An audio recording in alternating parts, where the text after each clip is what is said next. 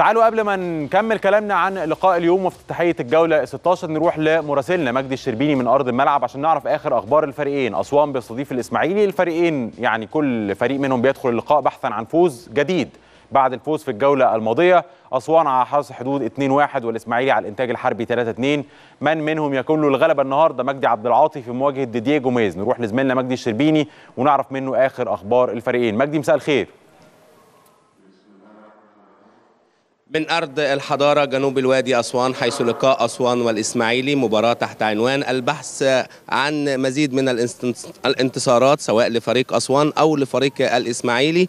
تحدث كابتن مجدي عبد العاطي على أهمية مواصلة الانتصارات وقال نلعب مع فريق كبير ولديه إمكانيات هائلة ولكن نحن في أشد الحاجة إلى الثلاث نقاط. آه شرح نقاط القوة والضعف في صفوف نادي الإسماعيلي.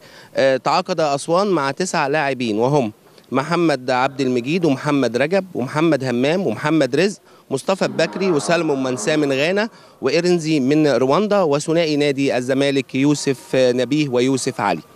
أما غيابات فريق أسوان إبراهيم جلال وأحمد فتحي.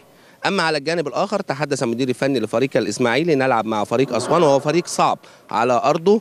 آه يجب امتلاك الكرة أطول فترة ممكنة واللعب على خطوط فريق أسوان على جانبي الملعب. غيابات فريق الإسماعيلي محمد صادق ووجيه عبد الحكيم وعماد حمدي ومحمد حمدي زكي. تعاقد الإسماعيلي مع فخر الدين بن يوسف التونسي والأوغندي باتريك كادو.